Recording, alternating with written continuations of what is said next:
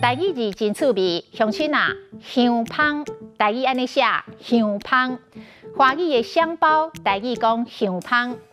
民间的传统风俗，五日节拢会做香芳挂伫个身躯，讲会当赶虫、辟邪、安神、保平安。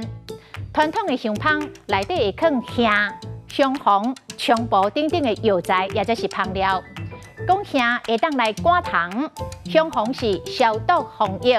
菖蒲是通经络、去湿气，啊香芳有的地头讲是香茶啊，也则是芳茶啊。